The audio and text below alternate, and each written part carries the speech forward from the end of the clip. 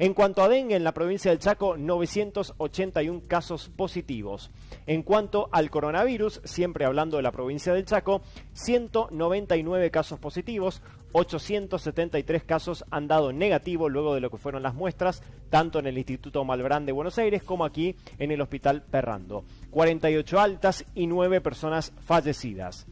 En cuanto a la provincia de Corrientes, en el dengue, la situación epidemiológica del dengue, 778 personas confirmadas con patología de dengue, mientras que en el coronavirus 31 positivos y 5 altas o personas recuperadas ¿no? en la provincia de Corrientes. Así está el parte epidemiológico de ambas provincias actualizada hasta la fecha.